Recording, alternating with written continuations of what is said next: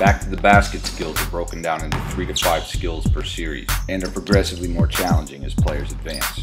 Players initially work on the foundational skills of footwork and squaring up to the basket, and each skill series builds on the next. The players have specific skills to practice and advanced skills to use in games.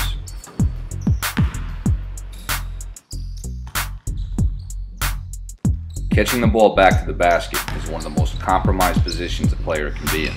By players isolating their practice time on each series, then moving forward, they will have a tremendous scoring advantage when receiving the ball in the post.